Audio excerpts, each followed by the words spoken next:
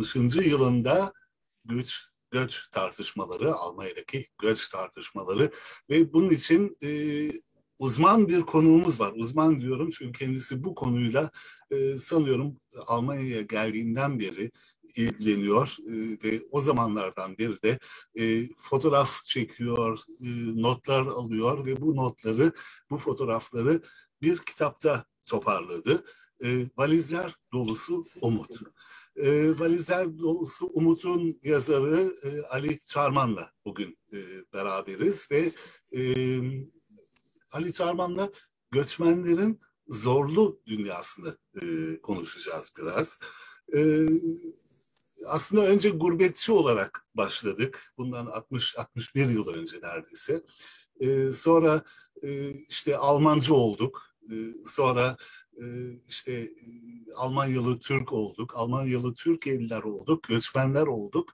E, her şeyi olduk. E, ve Almanya'da e, aslında 60 yıl e, kalmak için, buranın bir parçası olmak için yeterli gözüküyor. Ama kazın ayağı öyle değil. Yeterli gözükmüyor da bir taraftan. Çünkü hala Almanya'ya varamadığımızı görüyoruz. E, bunun nedenleri çeşitli. Onları da konuşacağız Ali Çarman'la. Ali Çarman'ı önce bir selamlamak istiyorum. İyi akşamlar Ali Bey. Ali Bey sesiniz gelmiyor. Sanıyorum mikrofonu... İyi akşamlar Atilla Bey.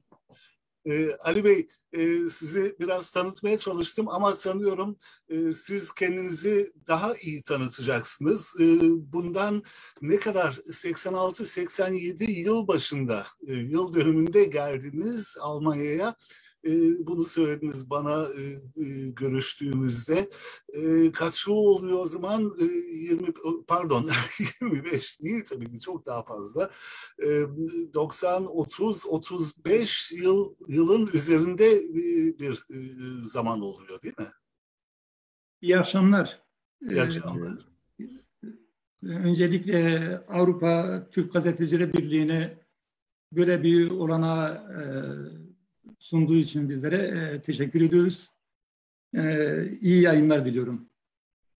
Atilla Bey'in de ifade ettiği gibi e, 1987'nin e, 86'yı 87'ye bağlayan yılbaşı gecesi Almanya topraklarına ayak bastık.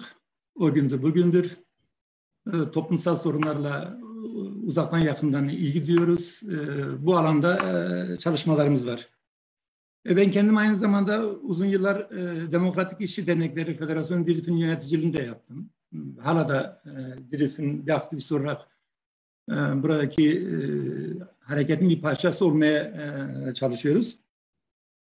Böyle bir kitabın oluşmasında, böyle bir kita, e, çalışmanın ortaya çıkmasında neden girdim diyecek olursak, bu Türkiye'de işçilerle birebir yaptığım sohbetlerle e, onlardan dinlediklerim, onlarda edindiğim bilgi, e, onlara kulak verdiğim, onlardan topladığım materyaller, malzemeler beni böyle bir şey itti.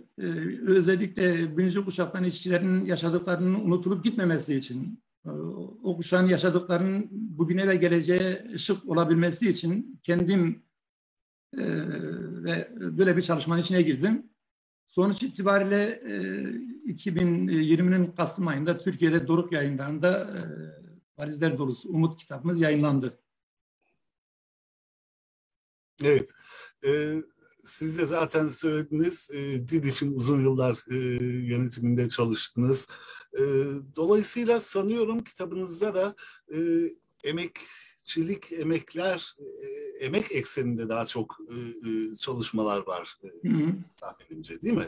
Evet, yani e, öncelikle bir şeyi e, hani tekrar da olsa bir şeyin altını çizmekte yarar var. E, göç olgusu insanlık tarihiyle e, eş değer bir yolu. İnsanlık öteden beri e, emekleyerek insanlaşmaya başladığı andan bu yana şu ya da bu nedenle dünyanın herhangi bir ülke yerinden herhangi, herhangi başka bir yerine e, göç etmiş ve hala da e, bir şekilde bir biçimde e, devam ediyor. Yani sadece bugünün olgusu değil. Yine bizim açımızda bakacak olursak Türkiye'li işçilerin Almanya'ya gelişi sadece 1960'larda başlayan bir serüven değil, e, kökleri geçmişlere dayanan, özellikle Osmanlı İmparatorluğu'nun Birinci Dünya Savaşı sürecine girerken Almanya ile ilişkilerinin alabildiğinde gelişkin olduğu bir süreçte Türkiye'li Türkiye'li işçiler, gençler, şaraplar eğitim için Almanya'ya getirildi, getirildiler. Bunların sayısızca örnekleri var. E, şeyde, e, materyal bulmak e, çok kolay e, o yıllara ait. Yine herkese e, Almanya'da sadece yabancılık olgusu bizimle başlamış, Türkiye'li işçilerle başlayan bir olgu değil. Almanya öteden beri e, sürekli yabancı işçiye ihtiyaç duyan bir ülke. E, Polonya'da, İtalya'da, değişik ülkelerde sürekli e, yabancı işçi getirmiş ve öyle ki örneğin 1917 yani Birinci Dünya Savaşı yıllarında Polonya'da getirdiği işçilerin kamu alanında kendi ana dillerinde konuşmalarını dahi yasaklamış. Bugün zaman zaman karşımıza çıkan çok az da olsa Almanya'da hiç yok denecek kadar azaldı.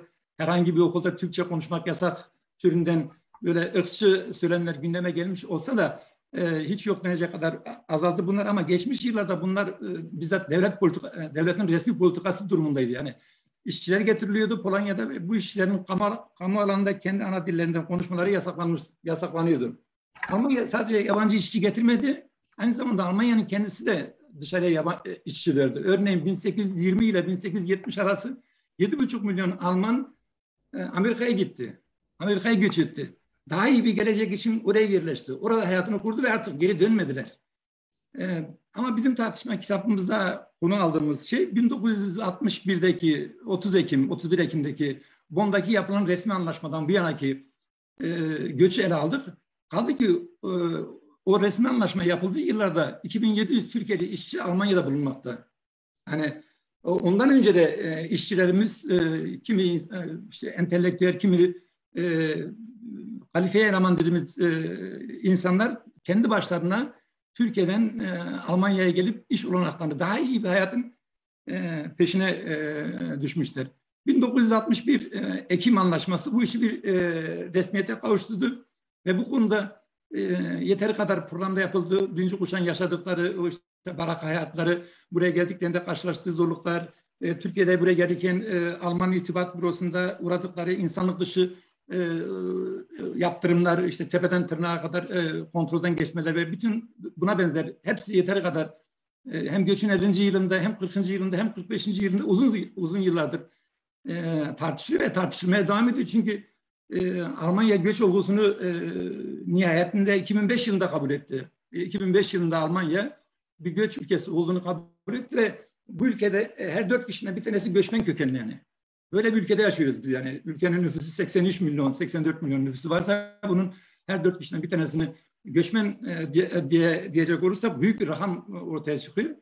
Yani şey bu benim e, çalışmamdan e, bu yanlarla e, ele almaya çalıştım ve genellikle hayatın pozitif yanlarını ele aldım. E, işin negatif yanlarını zaten yeteri kadar e, medyada orada burada e, kulak veriyoruz. Çünkü gelişme yönünü, e, hareketin e, gelişme yönünü görebilmek, e, nereden durduğumuz, nereden baktığımız e, önemli. Yani e, kitabı ben böyle şey yaptım, ele aldım yani. Evet, Ali Bey, e, daha önce konuştuğumuzda bana çok güzel bir şey söylediniz. Aslında sizin kitabınız e, daha çok böyle geçmişle bugün arasında bir bağ oluşturmak için yazıldı. Siz yazdınız bunu e, ve geleceğe e, oradan bazı dersler çıkarılması için e, yazdığınızda söylediniz. E, nedir bu e, geçmişle bugün arasındaki bağı söyleyebilir misiniz? O zamanlar şimdi siz de bahsettiniz zaten. O zamanlar e, işte e, aslında misafir olarak çağrıldık, davet edildik e, ve üstümüz başımız arandı. İşte e, dişlerimize bakıldı, e, bavullarımız, çantalarımız, her şeyimiz e, arandı. İşte e, kim bilir kaç kişinin yattığı yatakhanelerde e, kaldık. Ama bugün tabii değişti bu. Ailelerimizle buradayız. E, ilerisi için nasıl bir e, şey çıkarabiliriz, bir öz çıkarabiliriz bundan? Ya, e, öncelikle e, işçiler e, yani iki devlet arasında hem Türkiye hem Almanya devleti arasında yapılan anlaşmada şuna hiç dikkat edilmedi. Bu insanlar buraya geldiklerinde bu insanların karşılaştığı zorluklar, bu insanların yaşamlarını sürdürecekleri mekanlar, bu insanların e, iş olanakları, bu insanların gelenekleri ve görenekleri, kültürleri, kültürler, e, kültürel alandaki farklılıklar hiçbir şey dikkate alınmadı. Sadece şöyle bir herhangi bir makinenin parçası olarak algılandı. Buraya gelecekler, çalışacaklar e, ve bir, belli bir rotasyondan sonra işte bir yıl, iki yıl taş patlasa, üç yıl çalıştıktan sonra geri göndereceklerdi. Şey buydu. E, genel anlayışın kendisi buydu. E, işçiler buraya geldiler. Hayatın gerçekleri farklı yönde işlemeye devam etti. E, gelenlerin ezci bir çoğunluğu burada kaldı. Burayı artık kendine ikinci yurt, yurt edindi.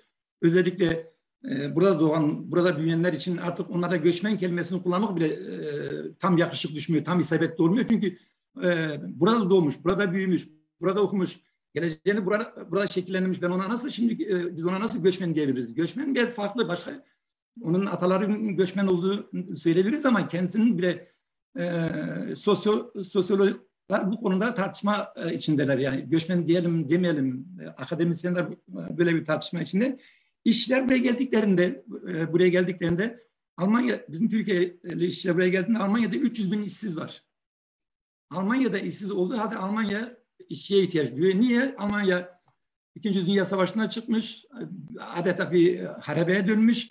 Ülkenin yeniden ayaklarının üstüne dikilmesi gerekiyor ve her türlü iş gücüne ihtiyacı var. Her türlü. Yani hem kalifiye hem de düz iş gücüne ihtiyacı var. Başlangıçta benim birebir sohbet ettiğim işçilerin önemli kesimi sanat okul mezunuydu. Örneğin Eskişehir'de konuştuğum insanlar var Eskişehir'de. Bilecik insanlar var İstanbul'dan, İzmir'den e, konuştuğum Türkiye'de insanlar var. Ve hepsi çoğu da sanat okul mezunu. Mühendis olan var. 1957'de kendisi mühendis bildiğimiz eski nüfus cüzdanıyla yola çıkıp Almanya'ya kendi başına gelmiş e, insanlarla tesadüfen karşılaştım. Bunların deney ve tecrübelerini aktardım. Yani demek, demem şu ki gelen birinci kuşağın ilk başta gelenlerin önemli bir kesimi kalifiye eleman. Daha sonra bu kalifiye eleman Almanya'nın ihtiyacına yeteri kadar cevap vermediği için bu sefer çerçeve biraz daha genişletiliyor. Anadolu'nun dört bir tarafında, Türkiye'nin her tarafına, en geri taraftan en ileri tarafına kadar, yani İstanbul'dan tutalım Hakkari'ye kadar, Van'a kadar, Van'dan Tekirdağ'a kadar e, insanlarımız buraya geldi ve kısa sürede e, sayılar yüz binlerle ifade edildi. E, bu gelişin e, şeyi kesilmedi. Arda arkası kesilmedi ve dediğim gibi gelenler e, burada en ağır ve en zor işlerde çalıştılar. Ama bu bir süreçti. Bu, e, bu işlerde şey yaptı. 1973'e kadar bu devam etti.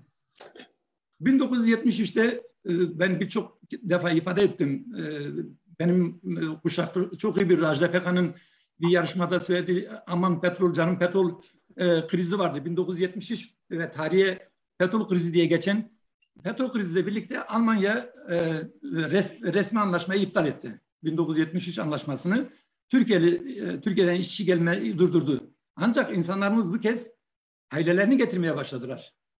Çocuklarını getirmeye başladılar ve sayı artmaya devam etti. 1980 80 83'te bu sefer Almanya geri dönüş e, teşvik yasasını çıkardı. E, ve bu geri dönüş teşvik yasası işte kişi başına 10.500 mark artı çocuk başına 1500 mark 1500 e, mark ve artı işte ufak tefek başka primlerle beraber 250 bin insanımız geri Türkiye'ye gitti. Ama bugün gelinen yerde 3 milyon 200 bin Türkiye'de işçi, emekçi Almanya'da yaşamaya devam ediyor. Yani geriye dönüşler olmuş olsa da e, e, kabarış yukarı doğru e, devam etti. Devam etmesinin nedeni şuydu. E, bu bahsettiğimiz 60 yıllık süreçte Türkiye'de 3 tane darbe yaşandı. Son darbeyi 15 Temmuz darbesini tam saymıyorum. O biraz e, her yanla darbe de olsa karanlık bir şey olduğu için tam diğer darbelerle kıyaslamıyorum. Ama üç tane darbe yaşandı. 60 e, darbesi, 71 darbesi, 80 darbesi ve bu her darbe yaşandığında yurt dışına yasa dışı yollarda geçen, gelenlerin sayısı da arttı. Yani dolayısıyla e, böyle bir süreç. E, işçiler buraya geldiler, Türkiye'li işçiler e, ve geldikleri andan itibaren çok büyük bir e, altyapıya sahip olmamış olsalar da, bir işçi kültürüne, bir işçi bilincine sahip olmamış olsalar da ama sürekli Alman işçilerle ya da bulundukları alandaki işçilerle birlikte hareket etmeye önem vermişler. Örneğin 1964'te Köln'de taşınan 1 Mayıs pankartında Türkçe ve Almanca biz işçiler hep beraberiz. Bizim geleceğimiz beraber olmaktadır. Ya da E, işçiler buraya e, geldikleri andan itibaren 1963'te itibaren dernek, dernekleşme başladı. Yani bir araya geldiler. Hak arayışına girdiler. E, sen, sendikalarda örgütlenmeye başladılar. E, sendikalarda e, Alman işçilerle beraber hak, hukuk, adalet, özgürlük, eşitlik mücadelesi verdiler. Ta ki 1900 yine e, 73'e kadar sendikalarda bile e, göçmen işçilerinin yabancı e, şey temsilci seçimi hakkı sahip hakkına sahip değillerdi. 1973'te sendikalardaki bir e, düzenlemeyle beraber e, göçmen kökenli işçiler de sendika tem, işçi temsilcisi olmaya başladılar. Yani böyle bir süreç Türkiye'de işçiler her ne kadar buradaki hareketi zayıflatmak için ve sermayenin e, karına kar katmak için getirilmiş olsa da Türkiye'de işçiler buradaki emek hareketiyle dayanışmada bulundular. Buradaki emek hareketinin de zaman zaman en önünde yürümekten geri durmadılar. Bunun sayısızca e, örnekleri var. Böyle kısaca bir e, şey yapayım Atilla Bey siz e, yine devam Ben bir araya girebilir miyim? Bir soru sorabilir miyim Ali Bey'e? Tabii ki. Buyurun Ufuk Hanım. Ee, Ali Bey, e, az evvel bahsettiğiniz 35 yılı aşkın süredir Almanya'dasınız. Ee, e, integrasyon kelimesine en fazla aşina olan insanlardan birisiniz. Hem meslek grubu olarak anladığım kadarıyla. Sizce tamam Almanların hataları oldu, hala da oluyor eskiye oranla ama şöyle bir temel sorun var ya da şöyle temel bir e, çıkarım var. Almanlar kendi hatalarına e, vakıf bir toplum. Yani bunu görebiliyorlar çünkü analiz yetenekleri var. E, bizim gelenler olarak en temel iki sorunumuz neydi de biz hala Alman toplumuna entegre olamadık sizce? Ve hala burayı kendimize yurt olarak göremiyoruz. Hala kendimiz bile kendimizden bahsederken gurbetçi diyoruz.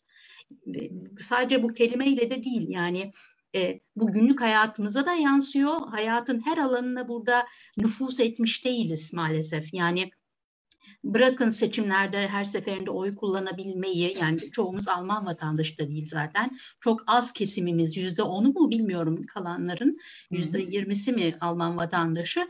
Yani toplumun her kesimine hayatın her alanına nüfus edemedik. Böyle bir realite var. Siz bunun en temel sizi bir sosyal bilimci olarak gördüğüm için soruyorum. Sizce en temel sebebi nedir? Bizim tarafımızdan, bizim yaptığımız eksiklik ya da bizim göremediğimiz sorun olarak neyi görüyorsunuz? İki tane önemli sebebi bilmek isterim sizin analizlerinizle. Evet, e, sorunuz e, gerçekten e, zor bir soru ve tartışmaya açık bir soru. Buna kesin şu nokta, şöyle bir cevap vermek durumda değilim. Ancak kendi fikirlerim doğrultusunda, e, kendi e, tanıklıklarım, e, kendi yazdıklarımla hareketle ben e, Türkiye'de işçilerin olsun, İtalyan, Yunan, diğer uluslardan işçilerin olsun, uzun yıllardır Almanya'da e, kalan işçilerinin e, bu topluma entegre olduklarını düşünüyorum. Benim e, düşüncem o yönlü e, örneğin burada doğmuş, burada büyümüş çocukların zerre kadar Almanca sorunu yok. Tam aksine Türkçe sorunu var.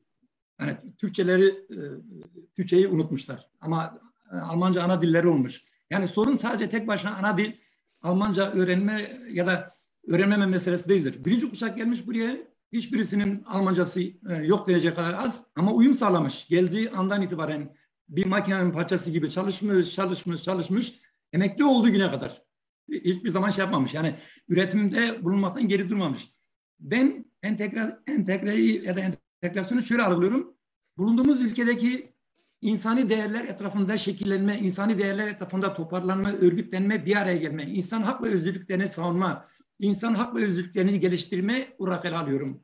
Bu noktadan baktığımız zaman Türkiye'li işçilerin, Türkiye'li işte ne kadar Türkiye'li insanların da buradaki hak ve özgürlükler mücadelesinin bir parçası olduğunu düşünüyorum e, ve e, üzerine düşeni fazlasıyla yerine getirdiklerini düşünüyorum. Yani ben birileri gibi yani e, Alman hükümeti gibi ya da bizim Türk hükümeti gibi e, Türklerin ya da Türkiye'lerin entegre olmadığı noktasında e, hem fikir değilim. Tam aksine kısa, dene, e, kısa denebilecek bir süreçte e, şöyle diyelim 1900 e, 2000 kaç yılında hatırlamıyorum e, Münih Üniversitesi'nden e, sevgili Özgür Savaşçı ile birlikte e, bir Nazım Hikmet etkinliği yapmıştık. Nazım Hikmet etkinliğinde bir e, okurumuz, e, dinleyicimiz kalktı şey sordu. Dedi ki sizce dedi Almanya'da e, işte entegrasyon ne zaman gerçekleşecek, kaç asır, kaç kuşak sonra gerçekleşecek? Özgür Savaşı'nın verilmiş olduğu cevap şöyleydi.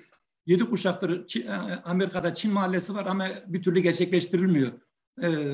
kimse Çinliler Amerikanlaşmıyor, Amerikalılar da Çinlileşmiyor. Dolayısıyla entegre olmak, Almanlaşmak manasında ele al, almam, almıyorum ben. Entegre olmayı, bu ülkenin insani değerleri etrafında bir araya gelmeyi, insan hak, evrensel insan hak özgürlüklerini savunmayı e, alıyorum.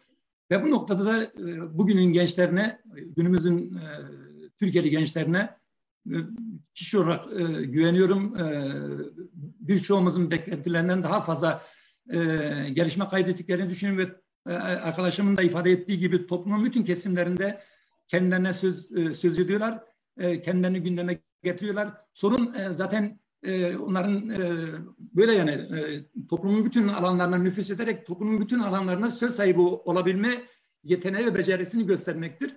E, e, dün e, benim birinci kuşaktan konuştuğum işçilerin söylediği şey şuydu. Biz Almanca bilen bir etrafın bir adamın etrafında fır böyle şey gibi dönüyorduk, fır dönüyorduk yani. O bize yardımcı olsun, şu olsun. Şu anda artık e, insanlarımızın evlerinde dahi artık Almanca konuşuluyor. Hani çünkü çocuklar Almanca konuşuyor ya da işte yarı Almanca yarı Türkçe konuşuluyor. Sokağa gittiği zaman, hayata gittiği zaman hayat ona Almancayı dayatıyor. Almanca konuşmak zorunda. Yani o konuda bir sıkıntı yok. Bu ülkenin e, ben şey diyorum e, Bertolt Brecht'ini, bu ülkenin Henry Heine'sini, bu ülkenin Goethe'sini, bu ülkenin e, Günter Grass'ın, bu ülkenin Günter Waraf'ın, bu ülkenin her ulusun kültürünün demokratik e, ögeleri var. Bu ülkenin kültürünün demokratik ögeleri etrafında birleşmemiz lazım. Aynı şey bizim için de söylenir. Bizim ülkemizde Yaşar Kemal'i var, Aziz Nesin'i var, Fakir Baykurt'u var. E, var da var yani. Bizim ülkemiz o konuda daha bereketli, az, bir, az bereketli bir ülke değil yani. E, entelektüel e, e, birikim açısından birçok Avrupa ülkesiyle yarışacak durumda Türkiye. Biz bu gerçekliği ne kadar görebiliyoruz, görmüyoruz. Bu ayrı bir tartışma konusu ama ben bu konuda böyle düşünüyorum. Entegre olmayı e, bulunduğumuz ülkenin e, insan hak ve özgürlükleri etrafında birleşmeyi, bir araya gelmeyi bunun bir hak olduğu bilinci. Bu da gelişiyor diye düşünüyorum. Yani e, söyleyebileceğim bu kadar. Ama tartışma dediğim gibi bu tartışma e, devam ediyor. Yani şey şöyle bakarak şey yapamayız. E, o ilk gelenlerin içinde benim e, e, görüştüklerim içinde kadın, neredeyse kadın sayısı hiç yok denecek kadar azdı. Çünkü e, göç deyince göç deyince hep kadınlar e, erkekler görülmüş. Kadınlar geri plan atılmış. Ancak 1960'lı yani bugün de bakamayız. 1960'lı yıllara gidelim. 1960'lı yılların Türkiye'sinde herhangi bir kadın kendi başına kalkıp Almanya'ya gelecek. Bu büyük bir özgüven, büyük bir cesaret. Onun için ben öyle öyle görüyorum. O, o kadın için, o işçi kadın için devrim niteliğinde bir değerlendirme yapıyorum ben. Çünkü şey yapıyor, bütün bir tarafta kendi aile baskısı, bir tarafta geri geri baskı, buraya geri buradaki Türkiye'li işçilerin baskısı üzerinde var. Ama buna rağmen Türkiye'li kadınların e, sayısı da e, yatsınamayacak kadar e, o, o konuda şeyler var. E, örneğin 1965'te Metal Sendikası'nın çıkarmış olduğu bültende 17.800 bin 17.800 kadın işçi var Türkiye'li 1965'te. Hani o gelenlerin içinde bu şeye orana vursak belki azdır ama 17.800 kadın da 1965'te az bir rakam değil yani. Bunlar dediğim gibi e, birçok şey e, şeyi yararak yani aile baskısını, otorite e, baskısını, gericiliğin baskısını yırtarak buraya gelmişler. Sadece benim söyleyeceğim bunlar yani. Ee, sanıyorum zaten Ali Bey e, yani uyum meselesi yani e, artık konuşulmamalı e, bence. E, çünkü zaten yani belli bir yerde e, vatandaşlar buraya geldiler, buraya e, ayak uydurdular. E, zaten ayak uydurmak uyum e, bir yerde. Burada yaşadıkları zaman buradaki işte çevreyle, buradaki koşullarla başa çıkıyorlar. Türkiye'de yaşadıkları zaman, yazları Türkiye'ye gidebildikleri zaman ya da başka ülkelere gittikleri zaman oradaki koşullarla başa çıkıyorlar. Yani aslında tek bir ülkede yaşayan kişiler, kişilerden çok daha fazla entegrasyon, uyum konusunda deneyimliler buradaki vatandaşlar. Kesinlikle ben de aynı düşünüyorum. Farklı düşünmüyorum. Alman toplumu aslında da yani şöyle e, e, uyum ya da entegrenin yetersiz olduğunu düşünenler e, esas sorumluluk onların sorumluluğu. Onlar evet. kendi sorumluluklarının gereklerini yerine getirmemişler. Bu insanları buraya getirmişler. Uzun yıllardır seçme seçim hakkında yok. Eşit haklarda mahrum bırakılmış. Sürekli yabancılar yasası sertleştirilmiş. Sürekli ırkçılığa tabi tutulmuş. Sürekli geto yaşamına mahkum edilmiş. Sürekli dışlanmış. Yani böyle bir süreçte e, geçmişin örneğin mesela Köln'de Türkiye'lerin yoğun olduğu semtler var. E, Berlin'de Türkiye'lerin yoğun olduğu semtler var. Belki benim kaldığım şehirde bu konuda e, belediyenin biraz tutarlı e, davranmasından dolayı böyle bir semt yok ama Almanya'nın belli başlı şehirlerinde e, e, şeyler oluşmuş. E, getolar oluşmuş. Bunun sorumlusu kim? Bunun sorumlusu oranın belediyesi, oranın e, işte eyalet hükümeti, oranın e, genel e, e, genel hükümetin politikası. Dolayısıyla e, uyumun yetersiz olduğunu söyleyenlerin asıl, asıl suçlu onlar. Hani şeyde, Demek bizim, ki suçlulardan biri benim çünkü ben çok bu konuda sizinle bütünüyle aksi düşünüyorum. Bunu söylemek zorundayım maalesef. Ee, ve suçun büyük kısmının bizde olduğunu düşünüyorum. Ama bunu e, e, Alman toplumunda idari ve sosyal olarak birçok eksiklik yaptığını ve hala yapmaya devam ettiğinin şerhinde koymam lazım. Ee, ben Almanya'da entegre, az evvel siz güzel bir kelime kullandınız. Dediniz ki bu iş sadece dille olmuyor. Kesinlikle çok doğru. Ben de öyle düşünüyorum. Sadece bu iş integrasyon denilen şey dile hakim olmakla olmuyor. Çünkü dile e, vakıf olan insanlar içinden de çok fazla entegre olamamış insan çıkıyor. Ee, Alman toplumunda yaşayan Türkiye'li diyelim, Türkiye'li vatandaşlar içinde çok yoğun bir şekilde benim için entegrasyon e, hayatın her alanına nüfus etmek ve ben Türk toplumunda bu gerçeği göremiyorum. Benim için sadece evde sorulan Türkçe soruya Almanca cevap vermek e, entegre olmanın bir ölçüsü değil.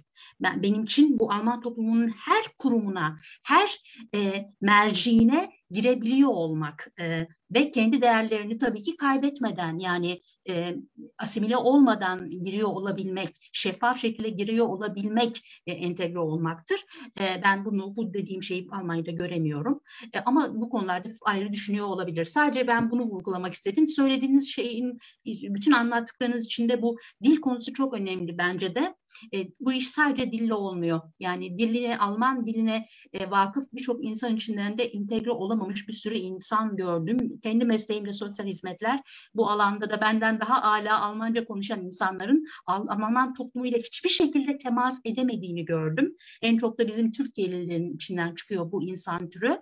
E, bunu vurgulamak istedim sadece. Bu bir şey değil, kritik değil sizin söylediklerinize. E, tabii e, söylediklerinizde kısmen haklısınız. Atilla Bey cevap vereyim kusura bakmayın. Estağfurullah ee, buyurun. Evet, kısmen haklısınız ancak e, şöyle ben bu çalışmayı yaparken 1978 yılında e, pardon 1976 yılında e, Türkiye'de DİSK'in e, Devrimci İşçi Sendikaları Konfederasyonu DİSK'in Stuttgart'ta gerçekleştiren 3. E, Göçmen İşçiler Konferansı'nda sunmuş olduğu elimde bir şey var, bir belge var. 1976. E, DİSK diyor ki bu işçiler artık göçmen işçilerdir. Arapçadan geliyor Mihman. 1976'da Yol gösterici. E, e, bunlar artık diyor göçmendir diyor. Bunlara göçmen işçi e, statüsüne bakılarak sorunlarına yaklaşılmalı diyor. Ve Almanya diyor ki Almanya'nın yöneticilerine diyor ki sizin nasıl Türkleri Türk ya Türkiyeleri Türkiye'den getirdiğiniz gibi aynı dönem DDR de Cezayir'den işçi getiriyor. DDR de, Cezayir'den getirdiği işçilere önce şöyle bir anlaşma yapıyor. 6 ay tam ücret karşılığında dil ve meslek yeri öğretiyor. Ondan sonra işbaşı yaptırıyor. E bizimkiler getirildiği andan itibaren e, getirildiği bir gün, iki gün sonra çalışmaya başladılar ve biraz, biraz önce dediğim gibi sürekli devam ede gelen bir devletin politikası haline gelen bir ırkçılık olgusu var. Yani bu örneğin 1981'de 17 tane profesörün e, farklı üniversitelerde 17 tane profesörün bir araya gelerek e, açıklamış oldukları bir Heidelberg manifestosu değil manifesto var. Manifestonun ana maddesi şu, e, İslami ülkelerde gelen göçmen e, göçmenler e, Alman ulusunun e, şeyini bozuyorlar, e, dokusunu bozuyorlar. Bunlar yurt dışı edilmelidir. 17 tane profesör. Bunun yaratmış olduğu şey ya da zaman zaman e, medyada çıkan e, göçmenleri hedef alan haberlerin sürekli çıkması. Ya da hadi çok önceleri gitmiyorum. E, Mölln, Zollingen, Rostock, Hanau, NSU bütün bunları şey yapıyorum. E, bir araya getiriyorum. Yani e, esas yani elbette ki tek tek e, algılayacak olursak, ele alırsak kişilerin de e, şeyi eksikleri, yanlışları vardı ama bir anlayış var. Anlayış devletin e, anlayışı. Devletin anlayışı dedim ya 2005'te ilk defa Almanya e, resmi olarak göçmen ülkesi olduğunu kabul etti. Vatandaşlığa geçişi e, 2005'te e, kan bağı olmaktan çıkardı. Biraz basitleştirdi. Hala da Alman vatandaşlığına geçmek için bin bir türlü zorluk ve neden var. Yani engel var yani. Bütün bunların hepsinin içinde e, bütün bunların hepsinin içinde entegrasyonu biz el, el almamız lazım. Entegre olduk mu olmadık mı sorun şey değil yani. E, diye, dediğim gibi arkadaş ifade etti bu başlı başına bir tartışma konusu çünkü e, bu işin içinde kimse çıkamıyor. Yani e, tartışılıyor, üniversiteler bunu tartışıyor, başka uzmanlar bunu tartışıyor e, ve her tartışmanın şöyle ya da böyle e, bize yararlı olduğunu düşünüyorum.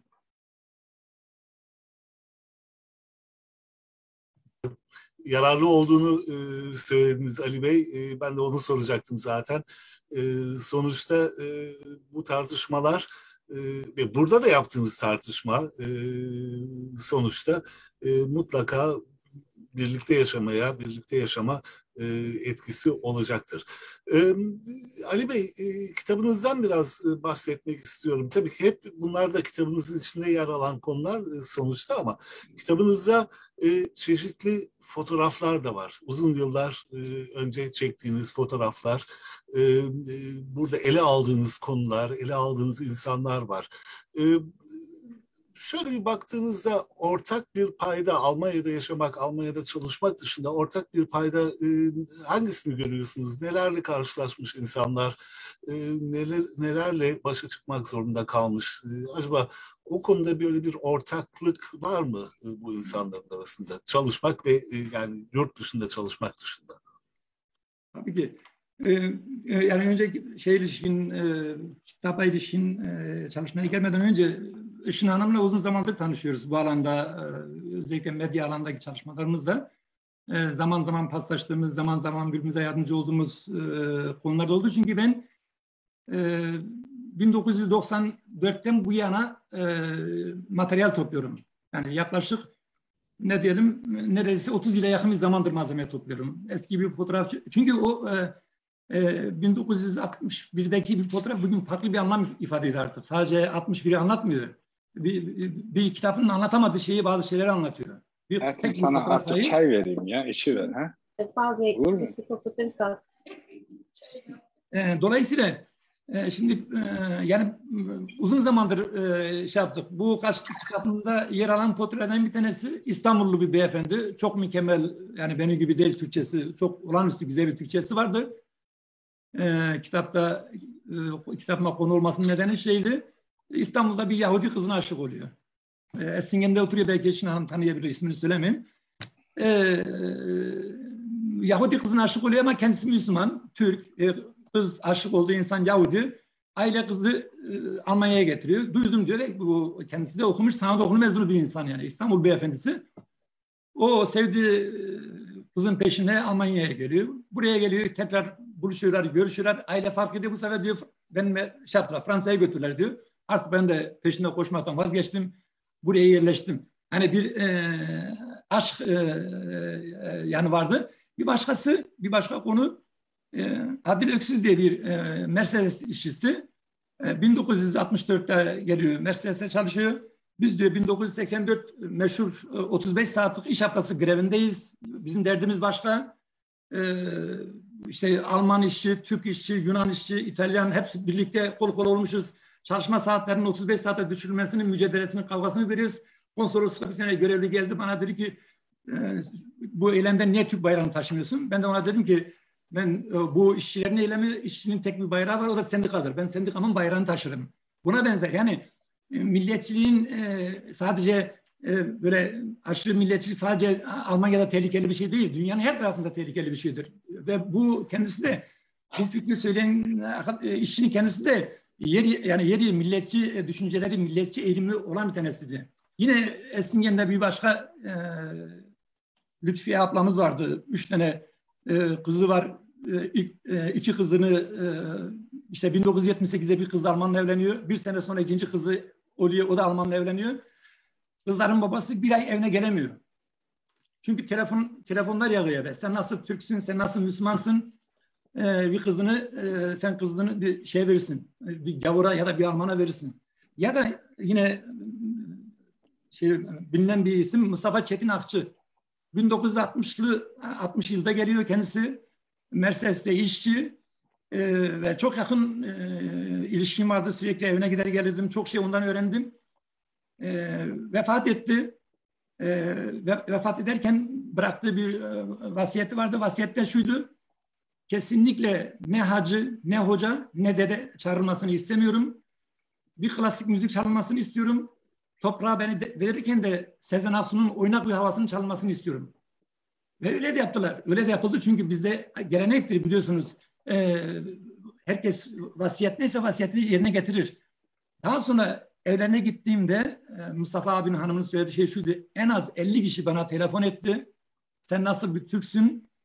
Ee, işte Mustafa'yı e, işte dini vecibelerin gereklerini yerine getirmeden toprağa verdin. Benim acıma gelmemişler. Benim acımı paylaşmamışlar cenazeme gelmemişler ama bana telefon edip bana tehdit, e, tehditler savuyorlar diye bir kez daha dünyası yıkılmıştı. Yani kitabımda böyle e, bir insan okuduğunda e, örnek olabileceği, yani işte bunlar yaşanmış, e, bunlar yaşanarak bugüne gelinmiş e, ipuçları e, görebilecek e, şeyler var. Yine bir tanesi var, Bilal Bozdağ diye bir e, halk sanatçısı, e, yüzlerce eseri olan e, Berlin'de işte konser şeyle kiminle beraber konsere çıkmamış ki en öyle diyelim Sibel Can ve dahi e, beraber konsere çıkmış e, bir abimizdi. E, ben diyor e, o da Türkiye'de yaşarken gazeteler bunun hakkında haber yapmış. E, Bilal Bozdağ vefat etti diye ben herkes inanmıştı. Yaşar Kemal da inanmıştı. Ben en çok beni yaralayan oldu. Yaşar Kemal gibi bir insan diyor nasıl buna inanır diye ve kendisine içerlenmişti. Ben en sonunda diyor e, işçi oldum. Yeniden e, sanatçılığı bıraktım. E, işçileşmeye başladım diye. Yani kitapta e, buna benzer. Yine e, az sayıda olsa kadın e, kadın işçilerin hayatı var. Onların karşılaştığı zorluklar var. E, dediğim gibi e, ırkçılık konusunda e, önemli şeyler var. E, olgular var. Ben 1993 e, Zolingen hadisesi olduğu zaman e, Köln'deydim. O gün doğum kilisesinin önünde rahatlıkla 3000 insan bir yere geldi. Yani Alman Almanya'nın e, eleştirelim e, e, söyleyeceklerimizi söyleyelim ama e, Alman halkı e, bize e, bizi itti, bizi dışladı e, diyemeyiz sürekli. E, gelinen yerde e, göçmenlerle birlikte iç içe yaşamayı iç içe yaşama konusunda, onlarda öğrenme konusunda e, büyük ilerlemeler, ilerlemeler olduğunu düşünüyorum ben işte anlattığınız üzere e, duyduğum kadarıyla e, basma kalıplardan, klişelerden uzak e, bazı insanları tanıtıyorsunuz, bazı insanların başından geçenleri anlatıyorsunuz. E, e, peki e, birçok kitapta aslında Almanya'da bu konuda yayınlanan birçok kitapta, Türkiye'de de yayınlanan birçok kitapta e, daha çok böyle işte e, zavallı e, misafir işçiler, işte, gurbetçiler e, e, edebiyatı yapılır genelde. E, zaten genellikle de e, bizde buradan yola çıkarız. Yani işte eziliyoruz, e, dövülüyoruz, e, ırkçılar e, tepemize çıkıyorlar. Ama başka şeyler olduğunu da gösteriyorsunuz siz sonuçta. Ben şunu da eklemek istiyorum. İkinci Dünya Savaşı'nda örneğin Almanya'ya gelmiş bir Türk opera sanatçısı var örneğin. çok daha önce Freiberg'e, Doğu Almanya'da, bugünkü Doğu, Almanya'nın doğusunda olan Atatürk'ün gönderdiği maden cilik okumak üzere gelen öğrenciler vardı. Hatta bunun hakkında kitaplar da var. Yani aslında çok daha fazla çeşitli yani bu trajik konuların dışında çok daha fazla, çok daha çeşitli insanlar geldi Almanya'ya ve burada yaşadılar. Yani sadece basma kalıp olarak düşünürsek tabii ki çok kısıtlı kalıyoruz Ali Bey değil mi? Tabii ki e, yani e, o bahsettiğiniz e, ırkçılık e, konusundaki e, gelişmeler, e, buraya gelmeler bizim Türkiye'li işçiler açısında e, hafife alınacak, yaslanacak şey değil. Bir kere altını çizerek söylüyorum. Türkiye'de işçiler buraya geldikleri andan kısa bir süre sonra örgütlenmeye başladılar. Örneğin 1994, 1964'te zannederim 24 tane e, dernek var Almanya'da 1964'te. Kısa bir süre sonra bu dernek sayısı yüzlerle ifade ediliyor. Almanya'nın her şehrinde dernekler kuruluyor ve bu derneklerin hepsi gerçek manada işçi dernekleri. İşçilerin sorunları için bir araya gelen. Bu derneklerin kongre, kongrelerine, konsolosluk görevlerinin katıldığı, ateş, ateşeliklerin katıldığı, böyle kavgaların, dövüşlerin yaşandığı kongreler. Yani bir böyle bir örgütlenme yapmış bizimkiler. Sadece böyle örgütlenme yapmamış, kendi kültürel ihtiyaçlarını karşılamak için örneğin 1966'da Türk İşçiler Derneği tiyatro çalışması yapıyor ve ortaya çıkardığı oyunu Güney Almanya'nın her tarafında gezdiriyor. Bende bunun belgeleri var yani. 1966'da yapmış bunu. Türkiye'den getirmemiş tiyatroyu. Burada kendisi, buradaki o işte tırnak içinde beğenmediğimiz işçilerin e, buraya gelenlerin oluşturduğu bir tiyatro çalışması. Yani demek istediğim sadece buralarda örgütlenmemiş, sendikalarda örgütlenmiş. Ya, IG Metal e, gibi bir e, Avrupa'nın belki de dünyanın en büyük sendikalarının bir tanesinde örgütlenmiş. Onun gerçekleştirmiş olduğu eylemlerin en önde yürümeyi kendine iş edinmiş. Örneğin Ford grevi. Sadece Ford grevi değil, Ulum'da e, video grevi ya da yakın bir zamanda Essingen'de devam eden e, bir Panasonic işçilerinin eylemi vardı. 110 gün e, açlık grevine yattı işçiler ki hepsi şeydi, Türkiye neredeyse tamamı Türkiye'li işçilerdi. Ben gidiyordum çoğu, birçoğu milliyetçi düşünceleri olan insanları onlara sohbetine diyorum, diyordum ki onlara açlık grevleri deyince siz eskiden diyordunuz sadece solcular yapar. Şimdi siz yapıyorsunuz, işçisiniz. Çünkü başka bir hayat, hayat onlara başka bir şans tanımamıştı. 110 gün açlık grevine yattılar. 110 gün sonra haklarını kısmen elde ettiler. Ya demek istediğim Türk işçilerle, Alman işçilerle, İtalyan işçilerle, Yunan işçilerinin hepsinin ortak sorunları var. Bugün de o, onları birleştirecek olan onlardaki entegrasyonu ve de uyumu ben buradan bakarak şey yapıyorum. Buradan, Ali Bey, e, yani bugünden bugün sizden öğrendiğim en önemli şey belki budur. Çünkü ben gerçekten bu e, dernekleşmenin, bu sendikalaşmanın Türk işler arasında 1960'ların sonunda başladığını bilmiyordum bilgi olarak. Bugün zannediyorum sizden öğrendim. Gerçekten eğer öyleyse çok sevindirici. Ben bu sürecin 80'lerin sonlarında başladığını düşünüyordum Almanya'da. Çok samimi görüşüm bu. Bu kadar erken başladığını bilmiyordum. Ee, tabii bu ne kadar e, kolektif olabilmiş bu dernekleşme, bu sendikalaşma ondan emin değiliz. Bilmiyorum belki sizin elinizde veriler de vardır. Evet, Ama evet, bugün evet. öğrendiğim en önemli şey sizden budur yani. 1963'te 1963'te 19 tane Türkiye'li dernek var Almanya'da. 1963'te. 1974'te 112 tane var. Şimdi belki de yani şeyi saymıyorum. E, Alevi Federasyonu'na bağlı dernekleri saymıyorum. Diyaneti saymıyorum çünkü bunlar farklı. Diyanet zaten 1980 ee, kaçta 82'de mi 84'te kuruldu. 84'te kuruldu. 960 tane şimdi Diyanet'e bağlı şey var. Yani her ne kadar camide olsa bir, bir cihada dernek bunları dışta yani inanç kurumlarında dıştan tutarak söylüyorum. Şimdi Almanya'da yine hala yüzlerce demokratik e, örgütünün örgütlenmenin olduğunu düşünüyorum. Çünkü örneğin bunlardan bir tanesi 1974'te Köln'de büyük miting düzenliyor. ATTF diye Almanya, şey, Avrupa Türk Toplumu Federasyonu, Konfederasyonu diye çocuk paralarının kesilmesi gündeme getiriliyor Alman devleti tarafında. Buna karşı büyük miting yapıyorlar. Bunun benden bildirileri var, afişi var, katılan insanlarda aldığım şeyler var. Yani dediğim gibi bizim insanlarımız buraya geldiler. Burada kendi geleceklerinin bulundukları ülkenin işçilerle beraber olduğunu farkına vardılar ve onlarla birlikte hareket ettiler. Hiçbir yerde Türk işçileri Alman işçilerin karşısına dikilmedi. Alman işçilerin mücadelesini bölmek gibi kötü bir rol oynamadı. Şu anda da öyle. Yarın İGE Metal Sendikası'nın herhangi bir eylemi gerçekleşse inanın ben onlarca defa, yüzlerce defa tanık oldum. Davul zurnayla bizimkiler en önde yürüyorlar. Çünkü Peki diğer göçmen gruplarının sendikalaşması hakkında bilginiz var mı Ali Bey? Ee, İtalyanlar, yani, Yugoslavlar, Marokkonlular yani İtalyanlarla ve Yugoslavlar, İspanyolların biraz durumları bizden daha farklı. Onlar İslami bir ülkeden işte tırnak içinde Avrupa'yı ülkelerden geldiklerinden dolayı biraz bizim gibi buraya yerleşmeye, buraya kök salma şeyleri olmamış. Sürekli gitme gelmeler yaşanmış yani. Bizimkiler e, anlaşma her ne kadar geri dönme üzerine olmuş olsa da iki yıllık, üç yıllık bir anlaşma olmuş olsa da şu rotasyona tabi tutulan bir anlaşma olsa da ama e, geri gitmeler yaşanmamış. Onun için bizimkilerin örgütlenme oranı onlara göre çok çok fazla.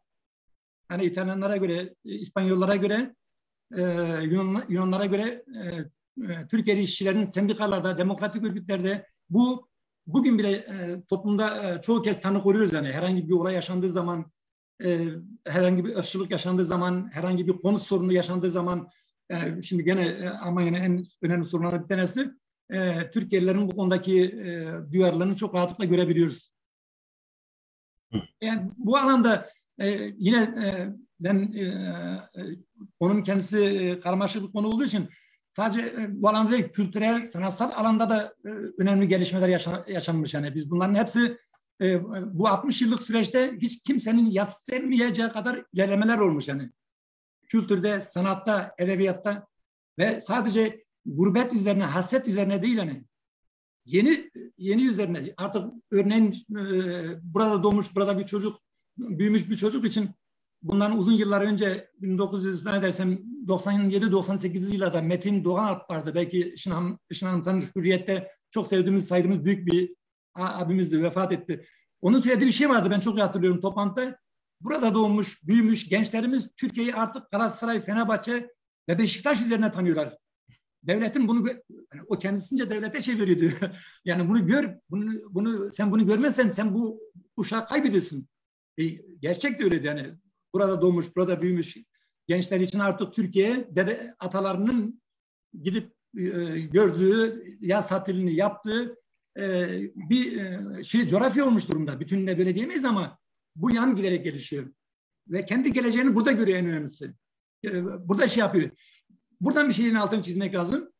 E, kendi geleceğini burada görürken örneğin e, zaman zaman bakıyoruz adam e, ya da işte her kimse insan e, e, herhangi bir parti örneğin AFD'de olan Türkiye'liler var.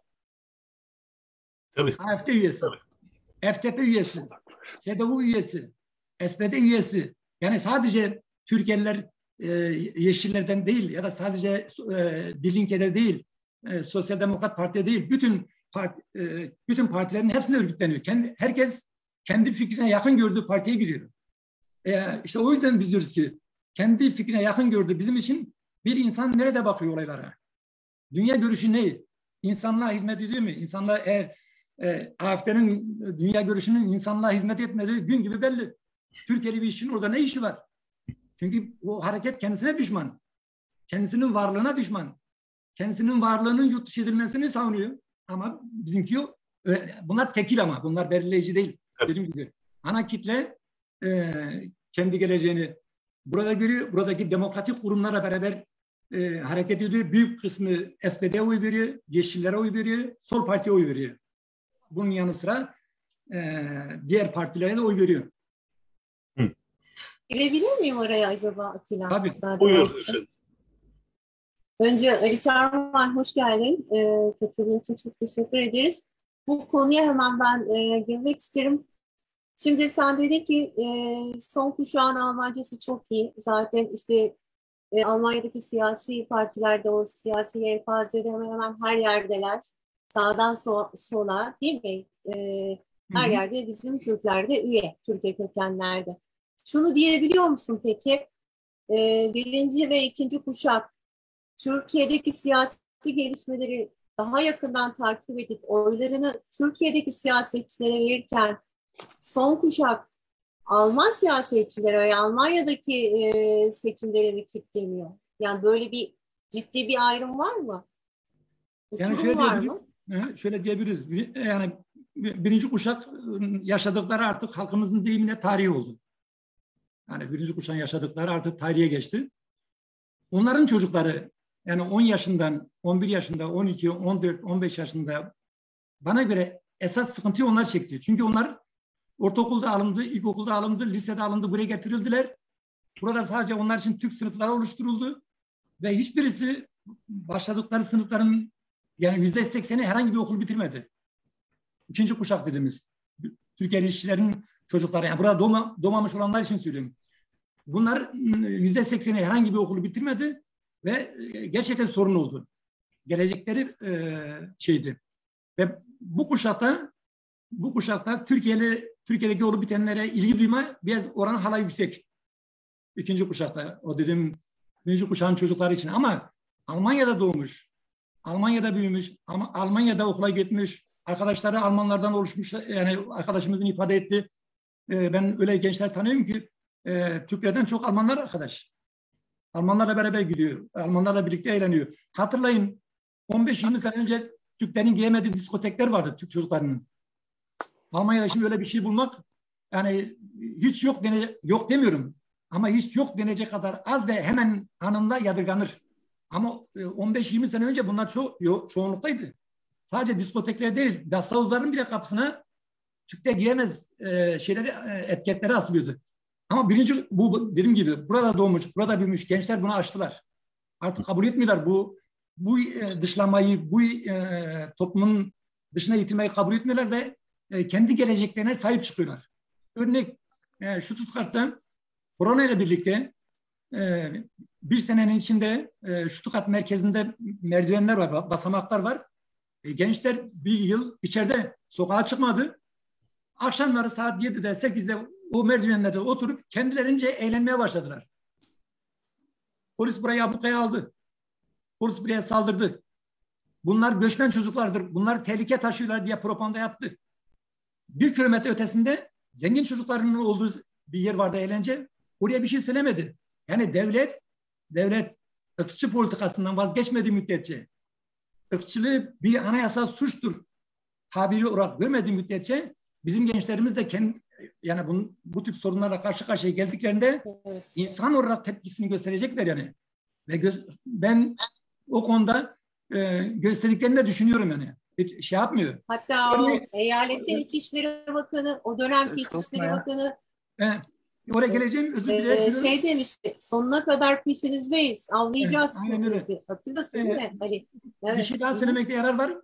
Ee, benim Almanya'da katıldığım ırkçılık karşıtı gösteri sayısı sayıs, sayısıca eylem var. Tanık e, olduğum. Örneğin e, AKP hükümetinden önce Almanya'daki ırkçılığa karşı yapılan eylemlere katılanların içinde yani Türk milletçisi gençler vardı. Hatta evet. hatta MHP, MHP'li gençler bile vardı. Ama AKP ile birlikte hiç yani sadece ırkçılığa karşı yapılan eylemlere toplumun en ileri kesimleri katılıyor. Yani bizim Türkiye'li sıradan gençler artık ırkçılığı kendisi için bir tehlike olarak görmüyor. Ya da oradaki ne derse e, ona kulak veriyor. Ama bu e, şey yapmaz yani. E, çünkü toplum yasaları da doğa yasaları gibidir. Doğa yasaları nasıl ki örneğin Japonya deprem sorunu çözmüş 7.7 şiddetinde bir deprem olduğunda Japonya'da bir şey olmuyorsa e, Türkiye'de 7.7'de bir deprem olsa yer yerinde e, her şey tuzla buz oluyor.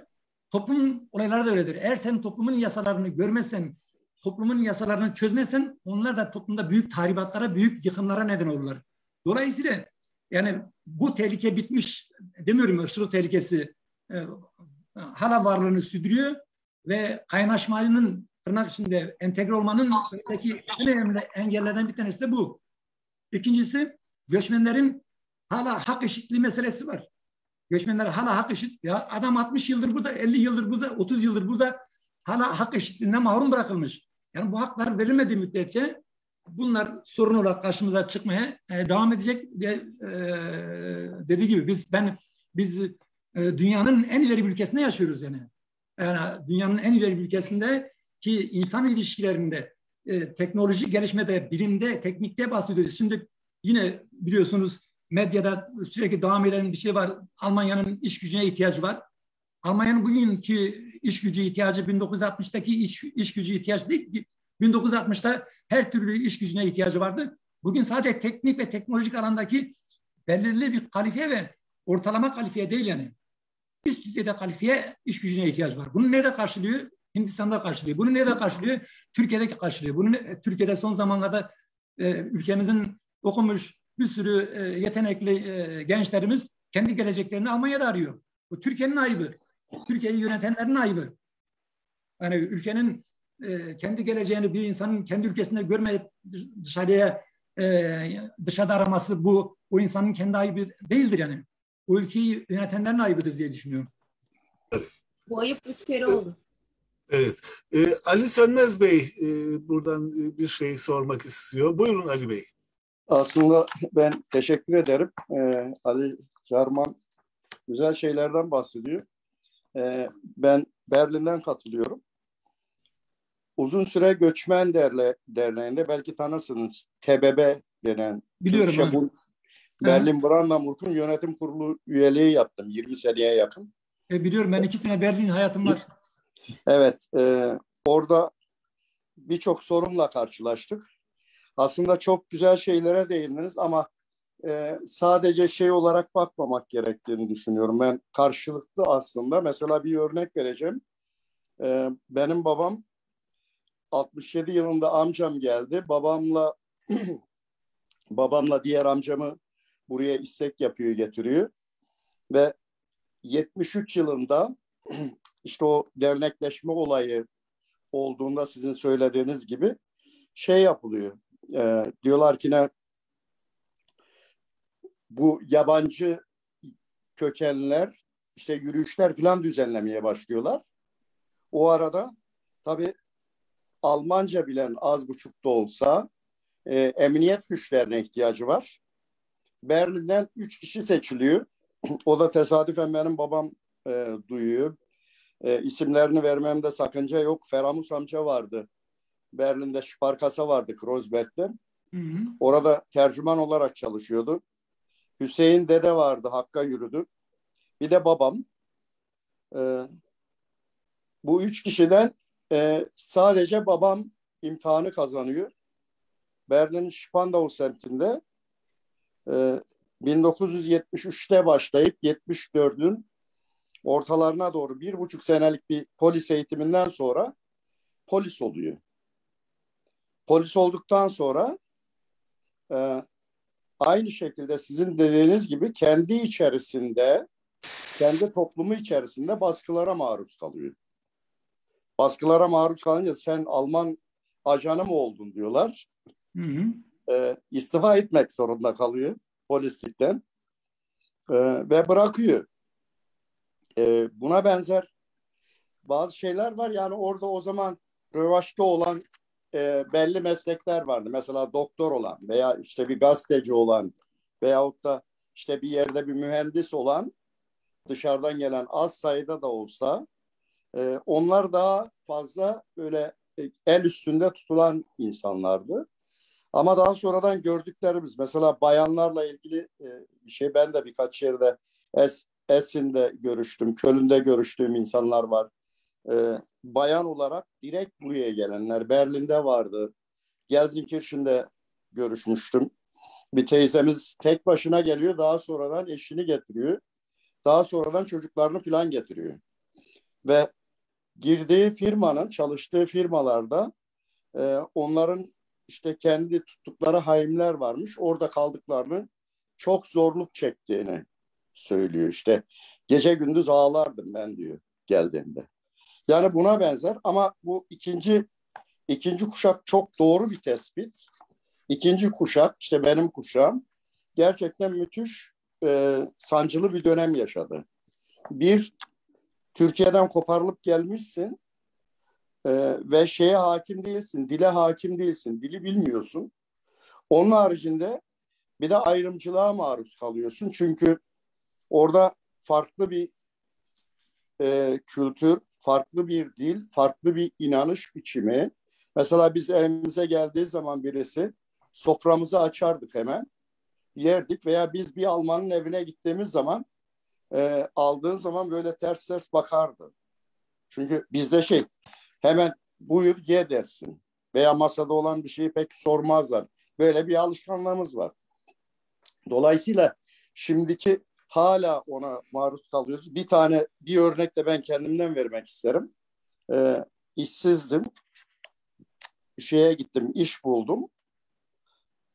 Beni Job Center bir başka şeye yolladı. Orada kurumdaki kişi bana şeyi soruyor. Diyor ki ne, ne olarak çalışıyorsun diyor. Doçent olarak çalışıyorum dedim. Nasıl doçent olarak çalışıyorsun diyor. Şimdi kafasında bir şablon var. O şablonu bir türlü yıkamıyor. Ya ders veriyorum dedim ben. Öğrencilerimiz var. Ders veriyorum ben dedim. Nasıl ders veriyorsun ki sen diyor.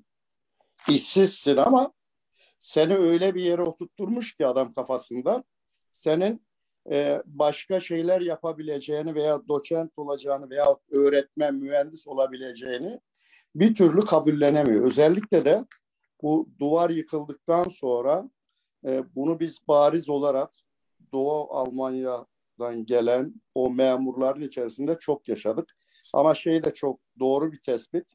Cezayirli arkadaşım var benim işte DDR döneminde e, Doğu Almanya'ya gelen e, müthiş bir şekilde Almanca konuşuyor. Bir Alman gibi Almanca konuşuyor. Hı hı. E, ama aynı dönem onunla gelen bizim e, yabancı kökenli insanlarımızın e, hemen hemen hiçbiri doğru düzgün Almanca bilmiyor. Üçüncü ve dördüncü generasyon şu anda entegre olmuş. İşte ama şey buna rağmen e, okuma oranı çok daha düşük. E, ve her alana maalesef giremiyorlar. Ne kadar deseler de e, bir şekilde bir ayrımcılık söz konusu. Bunu her gün yaşıyoruz. Her tarafta yaşıyoruz. Ben çok da duyuyorum. Şimdilik söyleyeceklerim bu kadar. Teşekkür ederim. Soru sormadım. Sadece katkı tamam, yapmak istedim. E, Atilla Bey, e, Ali abinin söylediklerine katılıyorum. E, ama şey şu, şimdi e, Türkiye'li işler üzerinde sürekli bizim e, Türk tarafının, Türkiye tarafının hükümetleri de sürekli büyük oyunlar oynamışlar. Örneğin 1982'de e, Banker Castelli olayı var. Almanya'da 1 milyar 500 milyon naklık tahvil satmış. Frankfurt'ta ve Kassel'de şube açıyor. Bildiğimiz Banker Castelli. 1 milyar 500 milyonluk tahvil satıyor. Yani insanlara para topluyor. E daha sonra buna Yimpaş, Kombasan, Deniz Feneri e, yani e, bu, bu şeyi çoğaltabiliriz. E, insanlarımızın alın terine göz diktiler. Sadece şey değil yani sürekli yani Türkiye e, kendi vatandaşını sürekli döviz makinesi olarak gördü. Onların sorunlarıyla ilgilenen değil. Bedelli askerlik başlı başına bela oldu yani. Yani şimdi gene biraz kısmen belki çözümlenmiş diyelim. O, o yüzden e, o sizin yaşadığınız şimdi Türk gençlerin, Türkiye gençlerin içinde polis olan çok. Türkiye gençlerin içinde Almanya'ya askerlik yapan çok. Yani bir tane iki tane değil yani. E, hemen hemen hepsi askerlik yapıyor. Ama vatandaş olmuş hepsi ya askerlik yapıyor ya da sivil vatandaş olarak gidiyor. Herhangi bir devlet e, kamuoyu, kamuoyu hizmetleri olan bir yerde e, bir sene çalışıyor. Yani dolayısıyla e, o yüzden ben dedim biz gelişmenin yönüne bakacağız. Gelişmenin yönü şu noktada artık burayı kendisine yurt edinmiş, burayı kendisinin yurdu saymış, kendi geleceğini burada arıyor.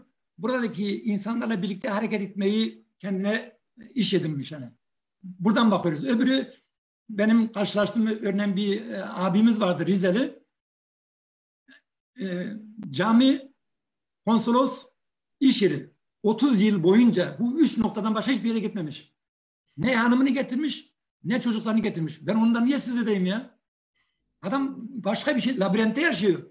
Adam günümüzün labirentinde değil yani başka bir dünyada. Bıraktım kalsın orada. O, çünkü onun ve e, insanın onunla öğreneceği bir şey yok dediğim gibi.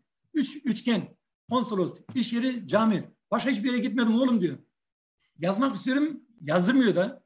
Ona da misal etmedi. Yok ben yazmanı istemiyorum. Başım belaya girmesini istemiyorum. Adam 90 bin euro para kaptırmış. 90 bin euro deniz fenerine para kaptırmış. Yalvarıyorum. Diyorum ki bunu yazmak istiyorum. Yok diyor ben diyor verirken diyor başka niyetle verdim.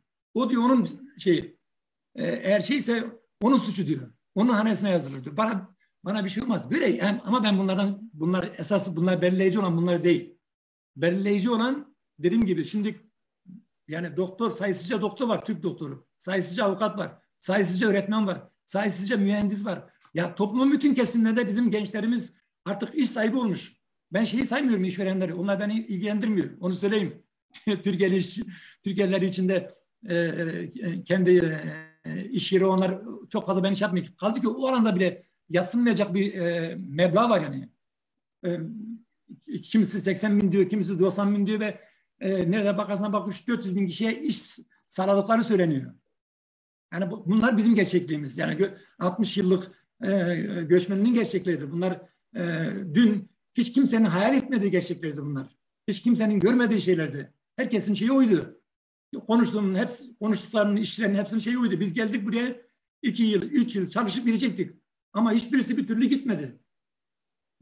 Gitmek de hala da gitmiyor yani. yani ve artık e, vefat ettiklerinde de artık e, cenazelerimizi burada toprağa veriyoruz artık. Bunu bunu da şey yapacağız. Bu gerçekliği göreceğiz ya. Ben defalarca gittim yani.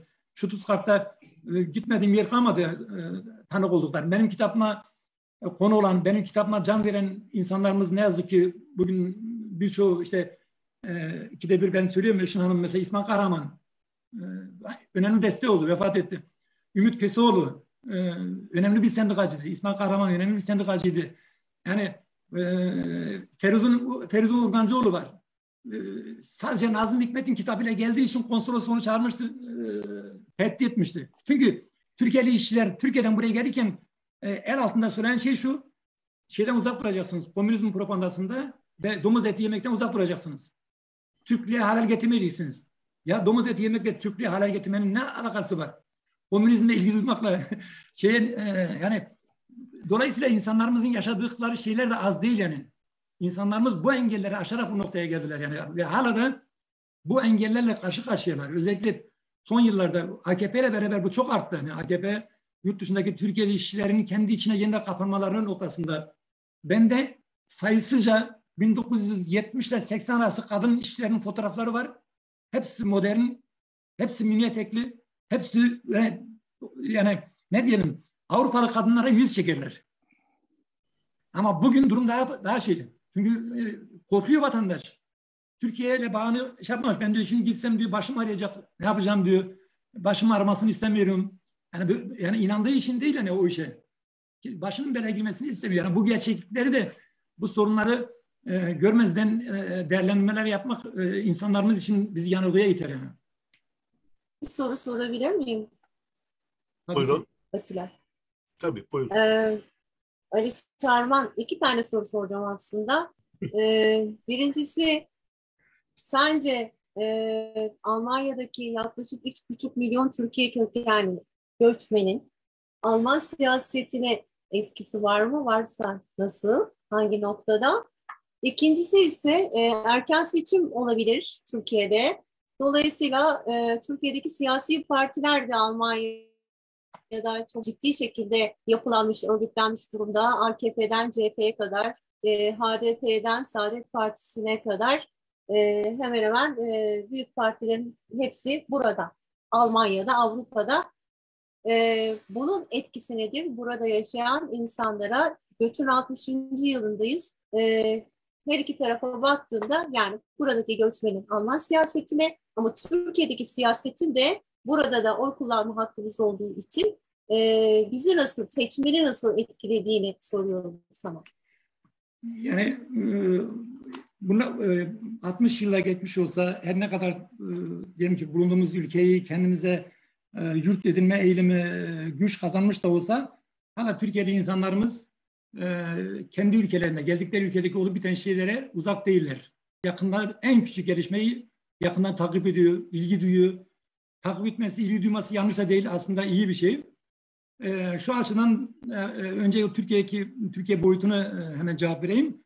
Ben şöyle düşünüyorum, Türkiye'de, Türkiye e, yani ülkemizde e, demokratik e, insan hak ve özgürlüklerine sahip çıkma noktasında, e, laikliği savunma konusunda, özgürlükleri savunmak konusunda en başta üniversitelerde, e, daha sonra e, özellikle entelektüel alanda, yazarlar ve aydınlar alanında e, dünyada yatsınamaz bir potansiyel olduğunu düşünüyorum. Yani bizim ülkemizdeki aydınlar arasındaki duyarlılığın Almanya'da daha ileri olduğunu düşünüyorum. Bizim ülkemizin üniversitelerindeki demokratik hak ve özgürlüklere sayışma bilincinin az olmadığını düşünüyorum. Ancak bu potansiyeli değerlendirme noktasında sıkıntılar var.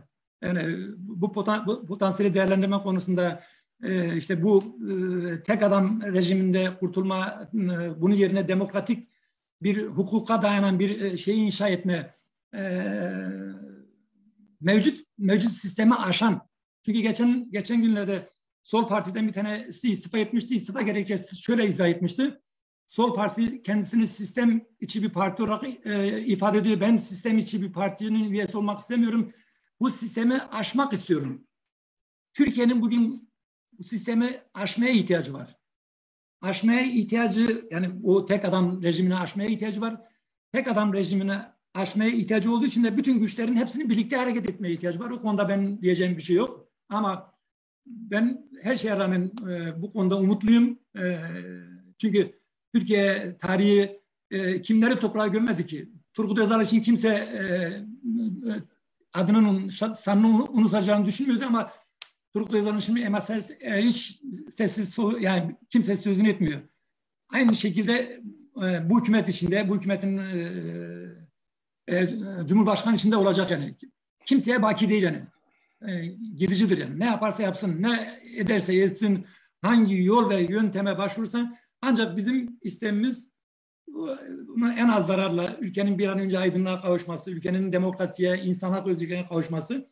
Buna bu yani o Türkiye boyutuyla ilgili söylenecek başka bir şey yok. Ancak e, e, sandıklar buraya getirildiği zaman e, yine e, seçimde buraya getirildiği zaman biz ben kendim kişi olarak çok fazla e, o sandıkların buraya getirilmesinin doğru oldu, doğru olduğunu bilmiyorum ama ben o da görev aldım. Yani hem sandık görevlisi olarak hem de e, bir basın görevlisi olarak defalarca gittim, geldim. Konsolosluğa gittik, geldik.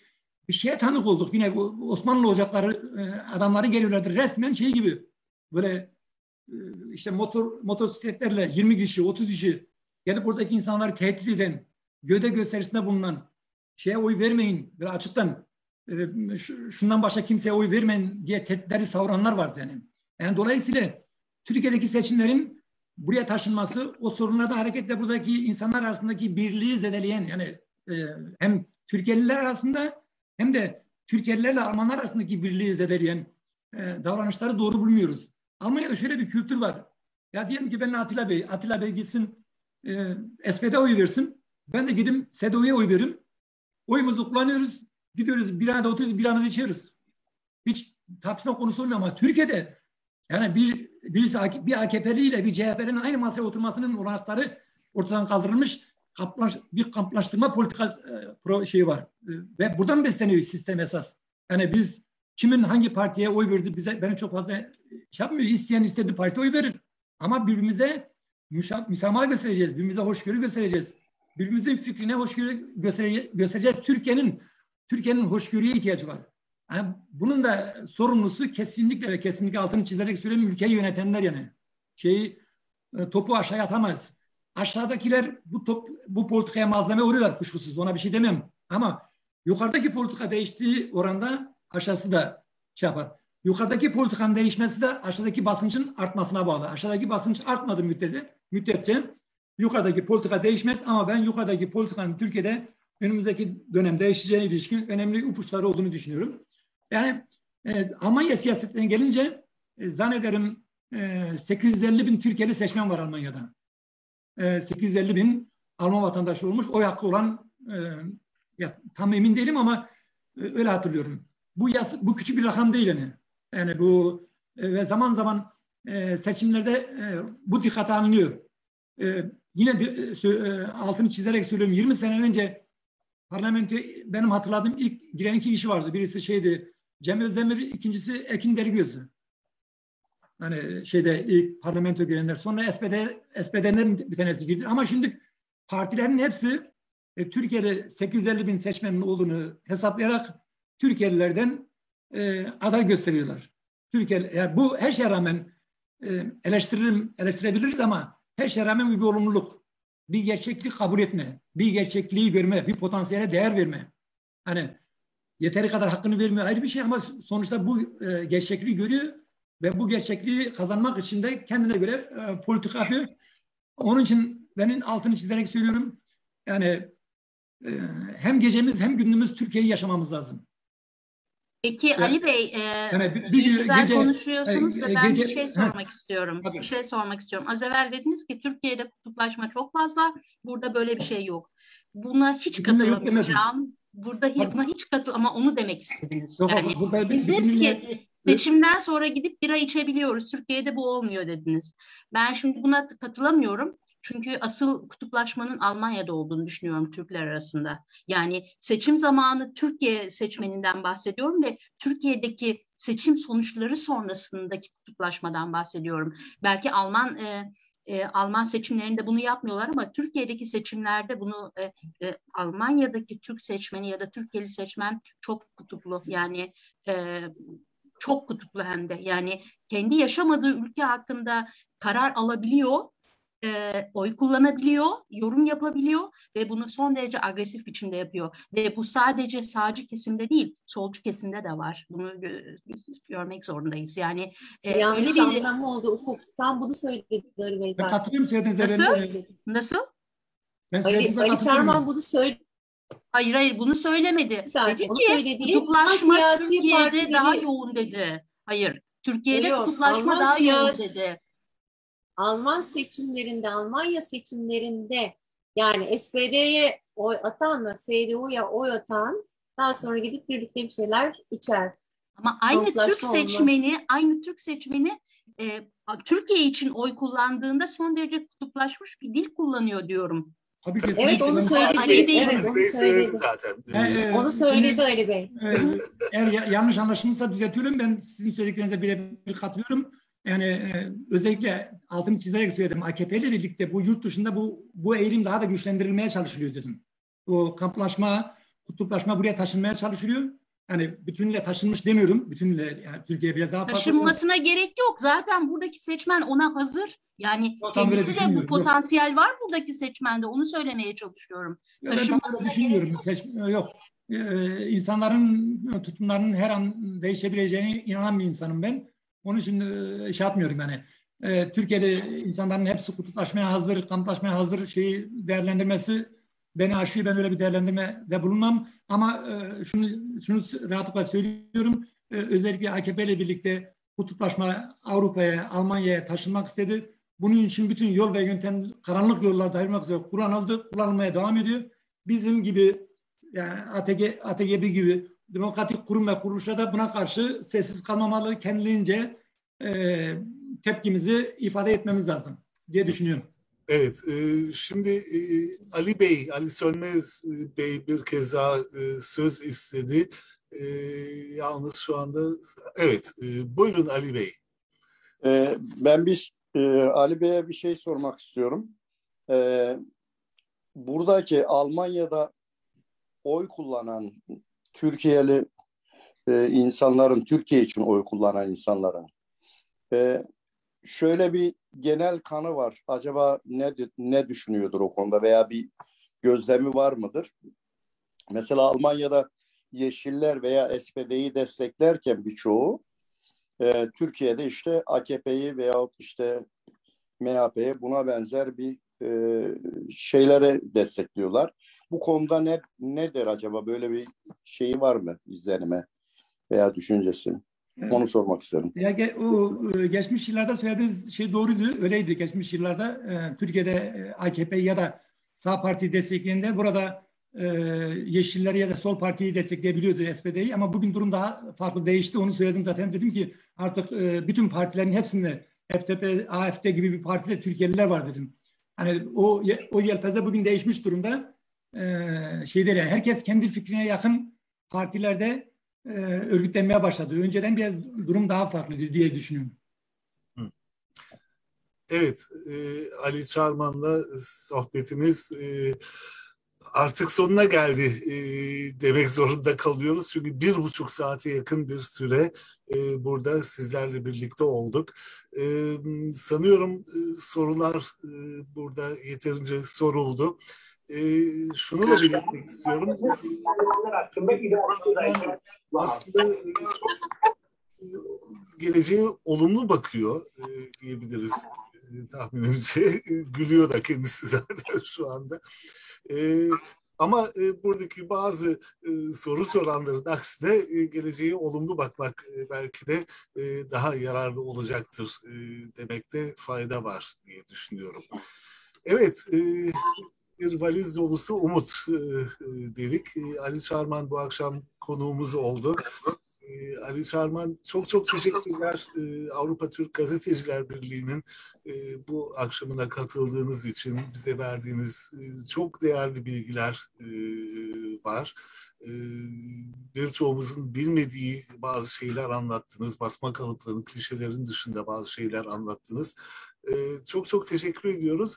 E, kitabınızı nereden almak mümkün onu da söylerseniz eğer e, sanıyorum e, kitabınızla ilgilenenler e, bu yoldan kitaplarınızı... Yani, e, kitabı bütün Dilif derneklerinde arkadaşlar alabilirler. Ali Sönmez abimiz söyledi ya böyle böyle.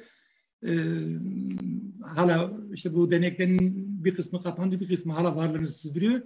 E, Dilif'te varlığını sürdüren derneklerden bir tanesi Almanya'nın 30-35 kentinde e, şubesi var. Bu herhangi bir şubeye başvurduklarında benim kitabımı çok rahatlıkla görebilirler. Ayrıca ben e, bu, bu çalış, çalışmam benim e, devam edecek. Onu bir cümleyle söyleyeyim.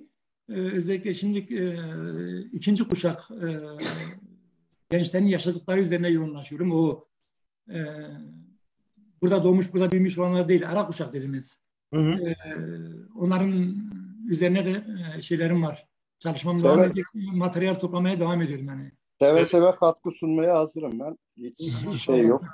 Evet. E, Evet, e, şey de çok güzel aslında. E, yani, Almanya'daki kitapçılardan da e, almak mümkün. E, ısmarlamak gerekiyor. Orada biraz daha uzun sürebiliyor yalnızca. E, e, hatırlıyorum. Atilla Bey'in söylediği gibi internet e, üzerinden almak mümkündür ama e, direkt bana başvuranlar olursa da ben, ben Atilla Bey'e bir tane hediye göndereceğim. isteyen arkadaşlara. Çünkü kaygımız bu kitabı yaparken kaygımızı başlangıçta ifade ettik. Ben şununla cümlemi tamamlamak istiyorum. Özellikle benim bu kitabımın oluşmasına can veren ama bugün aramızda olmayan isimleri saygıyla anıyorum. Onları yad ediyorum. Onlar olmasaydı, onların hayatı, onların yaşamı, onların bana anlattıkları olmasaydı bu kitap ortaya çıkmazdı kendimce e, geleceğe küçük bir ışık tutmak için böyle bir çalışma içine girdim. ATGB'ye de e, canı gönülden teşekkür ediyorum. Çok çok teşekkürler Ali Bey. Ee, biz de e, kitabınızın bizlere ışık tuttuğunu e, biliyoruz, görüyoruz. Çok teşekkürler. Avrupa Türk Gazeteciler Birliği'nin bu akşamki e, konuğu Ali Şarman'dı. E, ve kitabı hakkında, Almanya'daki Türkler hakkında, Türkiye'liler hakkında çok değerli bilgiler e, aktardı bize. E, görüşmek üzere diyorum. İyi, İyi akşamlar. akşamlar efendim. İyi akşamlar. İyi akşamlar. İyi akşamlar. İyi akşamlar. Öyle mi? Música